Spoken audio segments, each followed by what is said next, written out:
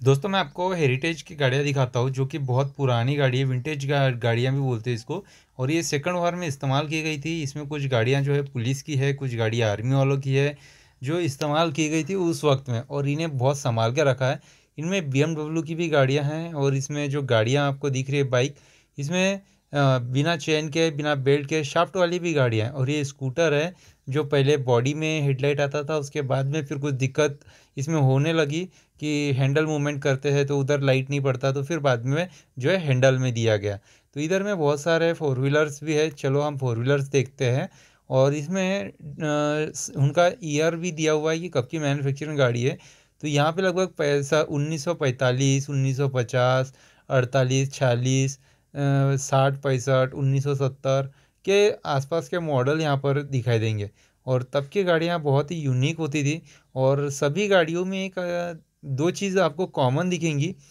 उस वक्त में भी गाड़ियों में वाइपर हुआ करते थे, जब गाड़ी मैन्युफैक्चरिंग हुई और तब से आज तक वाइपर वही यानी टेक्नोलॉजी पे चल रहे हैं। और बाकी अगर आप फिनिशिंग देखोगे गाड़ी की तो बहुत ही ज़बरदस्त होती थी और गाड़ी में किधर भी आपको फाइबर या प्लास्टिक का पार्ट नहीं दिखेगा। हर जो भी पार्ट है पूरा मेटल का ही पार्ट आपको बाहर से गाड़ी में दिखाई देगा। ये उल्कास वैगन की बस है, कितनी सुंदर और प्यारी बस आपको दिखाई देंगी, जो कि पूरा टीन का जो है, पूरा एक बॉडी दिखाई देगा। कहीं पे भी नट बोल्ट या जॉइंट वगैरह ऐसे ज़्यादा उसमें नहीं है। ये भी आप गाड़ी देख सकते हो। इसमें कंपनी के नाम दिए हुए हैं। हालाँकि ये यहाँ से कैमरे में नहीं दिख रहे और उस टाइम इस गाड़ी का नंबर आप देख सकते हो। कुछ अलग नंबर आपको दिखाई देगा। और गाड़ी बहुत क्लासिक है, सामने में हेडलाइट मस्त दिए हुए है और सभी गाड़ियों में उस टाइम में हेडलाइट गोल ही हुआ करते थे। हेडलाइट में कोई चेंजेस नहीं है, चाहे टू व्हीलर हो या फोर व्हीलर उस टाइम में हेडलाइट वैसे ही थे।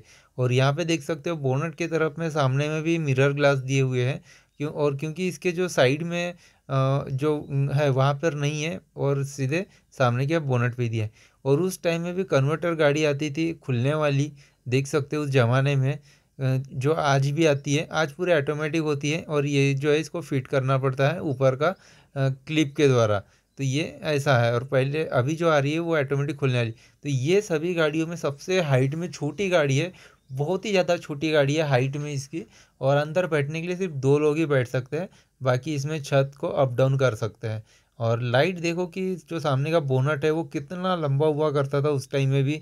गाड़ियों का बोनट काफ़ी लंबा यानी बैठने वाले को इतने दूर तक के देख कर गाड़ी जो है टर्न करना होता था। तो ये आज के मुकाबले थोड़ा ज़्यादा डिफ़िकल्ट था उस टाइम में। और क्योंकि हर कोई गाड़ी किसी के पास थी नहीं तो चलाना भी सभी को नहीं आता था। तो इसके लिए बहुत मुश्किल था उस दौर में गाड़ी चलाना भी। और ये आप देख सकते हो कितनी ज़बरदस्त। सभी में अक्सर करके लाइट वैसे ही आपको दिखाई देंगे, दोनों साइड से बॉडी का जो गोल पार्ट है सामने में आता है और उसमें लाइट फिट किए गए। फोक लैम्प नहीं हुआ करते थे और सभी गाड़ियों में आपको कॉमन सी बात है कि सामने में एक सेफ्टी गार्ड दिखाई देगा। ये सभी गाड़ियों में आपको दिखाई देगा कॉर्नर से लेके यानी पूरा गाड़ी को सामने में कवर करेगा और पीछे में कवर करेगा। ये कंपलसरी सभी गाड़ियों में होता था, आज के टाइम में नहीं है। और पहले के जो मेटल था, लोहा था, वो आज भी नहीं सड़ा है। तो पहले जो है product quality product company sell करती थी और सर्विस सर्विस बेचती थी और अभी जो है कंपनी जो है चूतिया बनाने का काम कर रही है, जो कि मेटल अभी का पूरा सड़ जाता है पाँच साल में। और ये देख सकते हो, सत्तर, अस्सी साल हो गए इन गाड़ियों को। और आज भी इस जो है इस्तेमाल हो रही है। यूज़ वाली गाड़ियाँ हैं, ये ऐसी नहीं है कि कबाड़ में पड़ी हुई है, आज भी गाड़ियाँ चल रही है सत्तर साल से, यूज़ वाली गाड़ियाँ। तो आप सोच सकते हो कि कितनी ज़बरदस्त उस टाइम में टेक्नोलॉजी हुआ करती थी, आज के मुकाबले भी कई गुना ज़्यादा और मजबूती भी थी। तो आज भी वैसी गाड़ियाँ मैन्युफैक्चर करना चाहिए, जो कि मेटल बहुत फाइबर यूज़ कर रहे हैं और सेफ्टी गार्ड लगा नहीं सकते सामने में, उसके पुलिस चालान करती है। लेकिन वो भी सही था अगर नहीं लगाए तो गाड़ी को नुकसान ज़्यादा होता है क्रैचेस पड़ते हैं, बम्पर ख़राब होते हैं। गार्ड अगर रहे तो गाड़ी को फ्रंट में बम्पर वगैरह ख़राब नहीं होते हैं। लेकिन भाई बिज़नेस कैसे चलेगा कंपनियों का?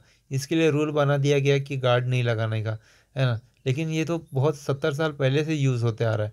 और इधर में जो आप गाड़ी देख रहे हो, ये खाकी कलर की, नस कलर में, ये गाड़ी सेकंड वॉर में इस्तेमाल करते थे पुलिस और जंगल सफारी वगैरह यानी जंगल में घूमने के लिए इसे यूज़ किया जाता था उस टाइम में। और सबके नंबर कुछ अलग अलग दिखाई देंगे। तो ये इन्फॉर्मेशन आपको कैसी लगी, मुझे कमेंट में ज़रूर बताना। वीडियो अच्छा लगा तो लाइक करो शेयर करो। ये नागपुर के रमन सायस में एग्जीबिशन था, अभी ख़त्म हो चुका है, एक दिन का था। तो ये वीडियो ज़रूर पसंद आया होगा शेयर करो अपने दोस्तों को और ये गाड़ी विंटेज गाड़ियाँ, उन्हें भी देखने दो और दिखाओ दोस्तों। ऐसे ही वीडियो में आपको देखने के लिए मिलेंगे। नागपुर एक्सपीरियंस यूट्यूब चैनल पर विज़िट करो।